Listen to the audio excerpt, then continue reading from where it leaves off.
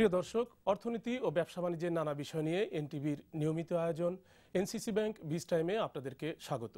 আমি ফরিদ আলম, আপনাদের সাথে রয়েছি। আপনারা জানেন যে আকাশপথে বিমান হচ্ছে, বিমান বাংলাদেশ এয়ারলাইন্স হচ্ছে বাংলাদেশের একমাত্র সংস্থা। তো এই বিমান নিয়ে অনেক অভিযোগ রয়েছে, আবার অনেক সম্ভাবনাও রয়েছে। তো এই বিমান নিয়ে আজকে আমরা কথা বলব। বেসামরিক বিমান পরিবহন ও পর্যটন মন্ত্রণালয়ের দায়িত্বপ্রাপ্ত মন্ত্রী লেফটেন্যান্ট কর্নেল অবসরপ্রাপ্ত ফারুক খানের সাথে আজকে এই স্টুডিওতে উপস্থিত রয়েছেন তিনি। যেন ফারুক খান আপনাকে স্টুডিওতে আসার জন্য ধন্যবাদ জানাচ্ছি। ধন্যবাদ। তো আমরা প্রথমেই আপনার কাছে যে বিষয়টা জানতে চাইব যে বিমান কিন্তু সাম্প্রতিক সময়ে খুবই আলোচিত একটা বিষয়। এখানে অনেক সমস্যার কথাও যেমন আমরা শুনতে পাচ্ছি অনেক সম্ভাবনাও কিন্তু রয়েছে। তো আশা করা হচ্ছে অনেকে আশা করছেন যে আপনি আসার পরে কিছুদিন আগেই এই মন্ত্রণালয়ের মন্ত্রী পরিবর্তন হয়েছেন। তো আপনি আসার পরে একটা নতুন পরিবর্তন হবে। তো সেই নতুন পরিবর্তনগুলো কি কি হতে পারে আমরা কি জানতে পারি? আপনাকে আন্তরিক ধন্যবাদ। এটা সঠিক যে আমাদের জাতীয় বিমান সংস্থা বাংলাদেশ বিমান বা বিমান বাংলাদেশ এটাকে নিয়ে বেশ আলোচনা সবসময় হয়েছে এখনও হচ্ছে আগামীতে হবে বলে আমি মনে করি। কারণ এটা খুব স্বাভাবিক। আজকে কানেক্টিভিটির পৃথিবী এবং কানেক্টিভিটিতে বিমান পথে যোগাযোগ air connectivity is very important আর আজকে সারা পৃথিবীতে তো একটা গ্লোবাল ভিলেজে রূপান্তরিত হয়েছে সেখানে আমাদের দেশে অনেক প্রতি বছর প্রায় আপনি জানেন যে প্রায় পাঁচচল্লিশ লক্ষ মানুষ প্রতি বছর বাংলাদেশে যাতায়াত। করে এর মধ্যে প্রায় পঁচিশ লক্ষ বিদেশে যায় অ্যাবাউট চব্বিশ লক্ষ লোক বিদেশ থেকে বাংলাদেশে আসে যাতায়াত করে। তো সুতরাং স্বাভাবিকভাবেই এর সবই বিমান মানে বিভিন্ন এয়ারলাইন্সের সকল? এয়ারলাইন সব মিলে। এবং এখানে অবশ্যই একটা মেজর শেয়ার আমাদের জাতীয় বিমান সংস্থা বাংলাদেশ এয়ারলাইন্স বা বাংলাদেশ বিমানকে করতে হয়।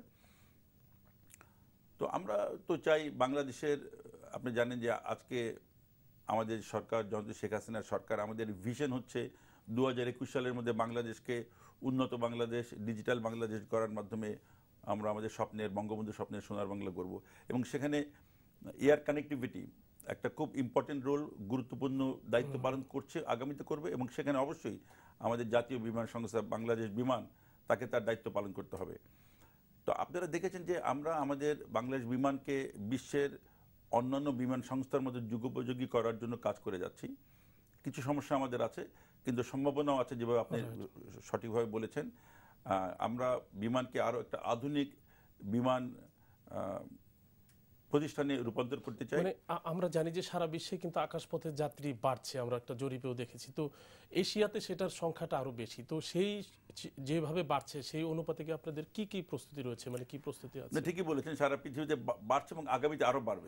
আমি সেই সেদিন এই আজকে থেকে তিন মাস আগে সিঙ্গাপুরে ওয়ার্ল্ড এয়ার সামিটে অংশগ্রহণ করেছিলাম। সেখানে তারা বলছে যে পৃথিবীতে বিমান যাত্রীর সংস্থা যত বাড়ছে তার মধ্যে প্রায় আটান্ন শতাংশ বাড়ছে আমাদের এশিয়া প্যাসিফিক রিজনে কারণ আমাদের রিজনটাই এখন সবচেয়ে বেশি ইকোনমিক্যালি গ্রো করছে এবং আগামীতে গ্রো করবে।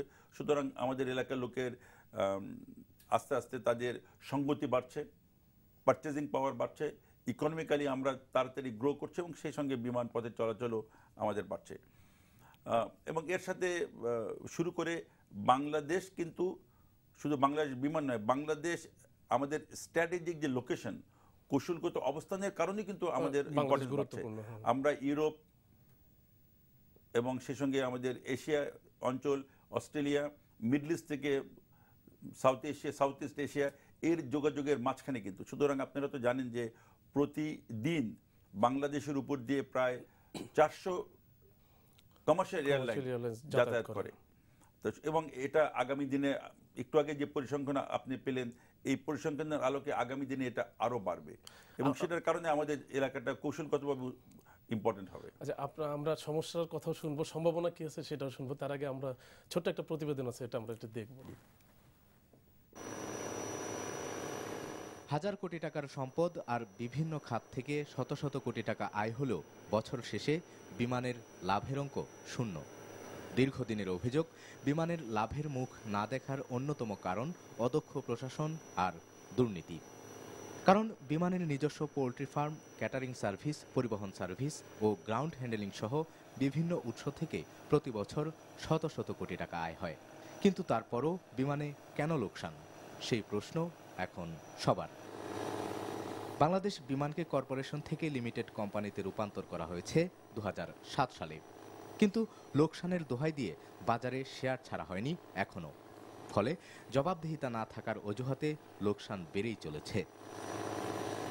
আজকে বিমানের শুধু কর্মচারী, বিভিন্ন ইউনিয়ন না, বিমানের কর্মকর্তারা, পাইলট, ইঞ্জিনিয়ার প্রত্যেকে বলতেছে যে বিমানটাকে আমাদের বাঁচাতে হবে। এই বিমান কিন্তু প্রফিটেবল হবে উপযুক্ত লোক দিলে। এক কোটি অন্তত যাত্রী যারা বাঙালিরা বিদেশে আছে, তারা বিমানে যাতায়াত করতে চায়। সেখানে এটা অলাভজনক হইতে পারে না, ঠিক মতো পরিচালনা করতে পারলে। এত সমস্যার পরেও নতুন নতুন বোয়িং কেনার চুক্তি করা হয়েছে যুক্তরাষ্ট্রের বোয়িং কোম্পানির সাথে। কিন্তু সেই বোয়িংগুলো আধুনিক হলেও বাংলাদেশের যেসব গন্তব্য রয়েছে, সেই গন্তব্যের জন্য এগুলো কতটা ব্যবহারযোগ্য তা নিয়েও রয়েছে অনেক প্রশ্ন। কারণ নতুন প্রজন্মের এই বোয়িংগুলো টানা আঠারো থেকে বিশ ঘণ্টা চলতে পারবে। কিন্তু এই দূরত্বের রুট বাংলাদেশে রয়েছে হাতে গোনা কয়েকটি। ফলে নতুন বিমান কেনার ক্ষেত্রে দীর্ঘমেয়াদী পরিকল্পনার অভাব রয়েছে বলে বিশেষজ্ঞদের অভিযোগ।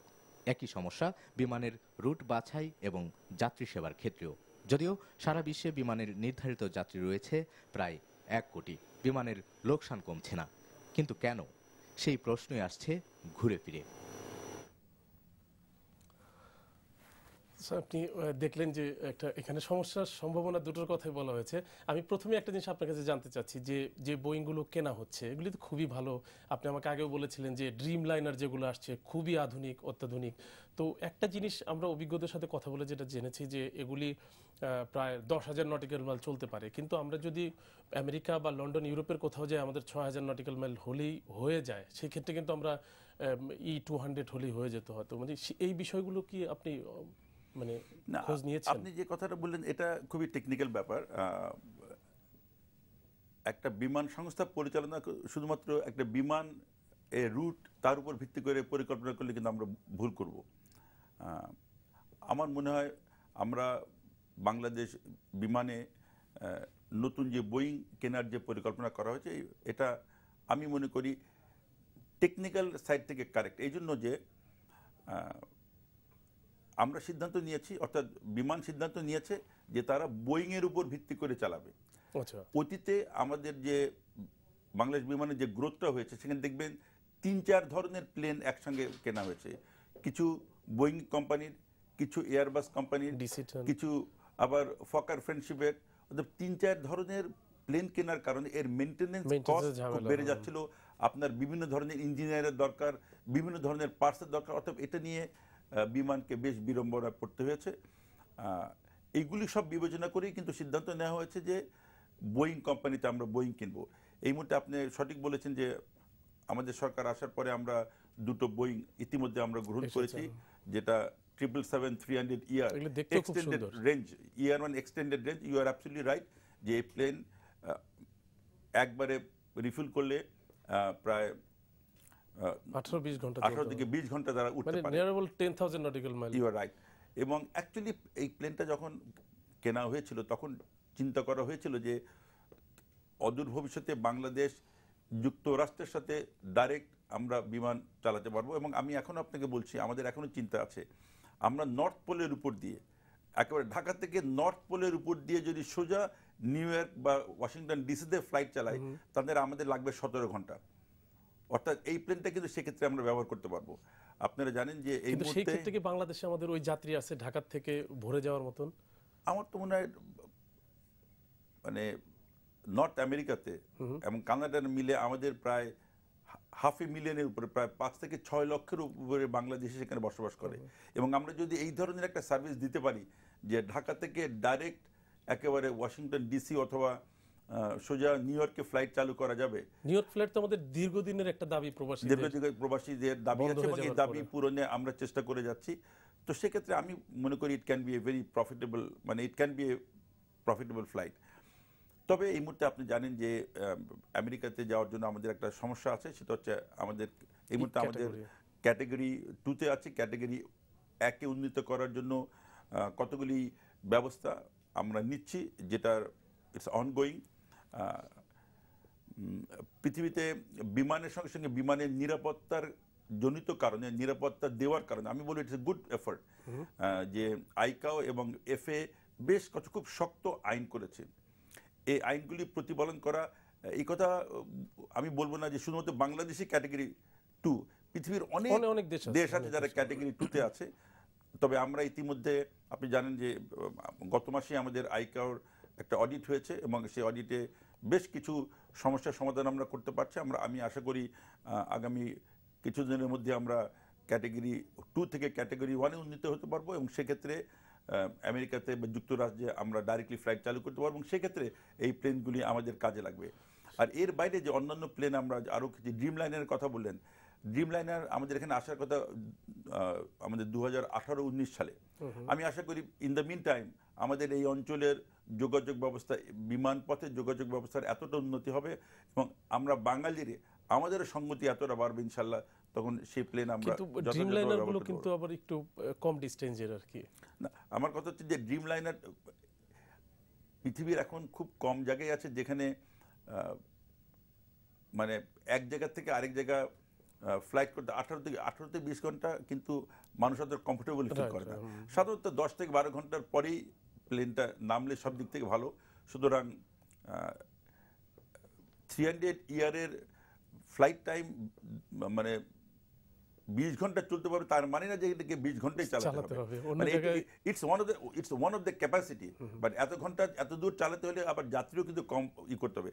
এটা আমি আজ প্রথমে আপনাকে বলেছি এটা একটা টেকনিক্যাল ম্যাটার এবং। এটা ওইভাবে সলভ করা হবে আমি যেটা বলতে চাচ্ছি যে বাংলাদেশ বিমানে আমরা যে বোয়িং প্লেনটা সিদ্ধান্ত নিয়েছি I think it was a good decision এবং আমরা অ্যাকর্ডিংলি এই প্ল্যানেই চলছে আমরা আশা করছি আগামী তিন চার বছরের মধ্যে বর্তমানে অন্যান্য যে প্লেনগুলি আছে ডিসিটেন্ট তো বিমান বোয়িংয়েরই বা এয়ারবাস এগুলি আস্তে আস্তে ফেজ আউট হয়ে যাবে এবং আগামী। দু হাজার ষোলো সতেরো সালের মধ্যে বাংলাদেশ বিমান বোয়িং এর উপর ভিত্তি করে চলবে এবং আমরা ওইভাবে এক্সপার্টিস গ্রো করব। সেই সেই ক্ষেত্রে কি আপনারা নতুন রুট নতুন রুটের কোনো পরিকল্পনা করেছেন যে নতুন নতুন রুট কি হতে পারে আমাদের অবশ্যই নতুন রুটের পরিকল্পনা আছে। এই মুহূর্তে বিমান আমি যেভাবে বললাম ঢাকা নিউ ইয়র্ক রুট ছাড়াও আমাদের ঢাকা থেকে নারিতা অর্থাৎ জাপানের সঙ্গে ডাইরেক্ট রুট ঢাকা থেকে অস্ট্রেলিয়া এই রুটগুলি ছাড়াও মিডল ইস্টের বিভিন্ন রুট এবং এমনকি আমাদের এখান থেকে আফ্রিকার বিভিন্ন রুট নিয়ে আমাদের চিন্তাভাবনা চলছে।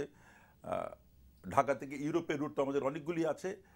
ঢাকা থেকে লন্ডন ঢাকা থেকে রোম এই রুট তো আমাদের আছে। সুতরাং এবং এইসব রুটে আমাদের অনেক যাত্রী প্রতিদিন চলাচল করে। এবং আমি একটু আগে আপনাকে বলেছি যে আমরা চেষ্টা করছি বাংলাদেশকে ঢাকাকে আমাদের এই অঞ্চলের একটা রিজিনাল হাব হিসাবে তৈরি করতে। তখন পৃথিবীর অন্যান্য প্লেন এখানে এসে তারা ট্রানজিট করে আমাদের বিমানে করে পৃথিবীর অন্যান্য বড় বড় লোকেশনে যাবে। বিশেষ করে আমাদের সার্ক কান্ট্রির মধ্যে নেপাল ভুটান মালদ্বীপ শ্রীলঙ্কা এদের সকলে আমাদের বাংলাদেশকে ব্যবহার করতে পারবে। আমরা এইভাবে একটা পরিকল্পনার অংশ হিসাবে এই কাজটা করছি। আপনাকে ধন্যবাদ। আমরা ছোট্ট একটি বিরতিতে যাব। প্রিয় দর্শক আমরা ছোট্ট একটি বিজ্ঞাপন বিরতিতে যাচ্ছি। আমাদের সাথে থাকবেন। ফিরে আসব খুব শিগগিরই।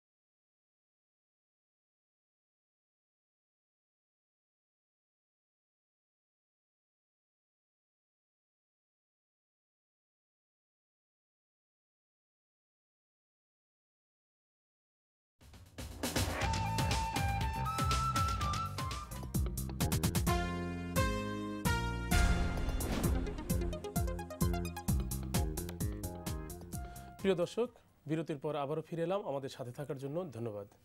জনাব ফারুক খান আপনার সাথে যে বিষয়ে কথা বলছিলাম তো আমি ছোট্ট একটা বিষয়ে আবার আপনার কাছে জানতে চাই। সেটা হচ্ছে যে আপনি দেখলেন প্রতিবেদনে যে বিমানকে দুহাজার সাত সালে পিএলসি করা হয়েছিল। তো আমরা দেখছি যে পিএলসির কোনো সুবিধা কিন্তু মানে আমরা দেখতে পাচ্ছি না ভালো দিকটা। এটা কেন কেন হচ্ছে বলে মনে করেন? বা এই লোকসানটাই বিমানে কেন হচ্ছে? আমি বিমান নিয়ে যেহেতু আলোচনা করছি আমরা আমাদেরকে কিন্তু বুঝতে হবে যে বিমান কিন্তু পৃথিবী থেকে আইসোলেটেড কোনো সংস্থা নয়। আজকে বিশ্বে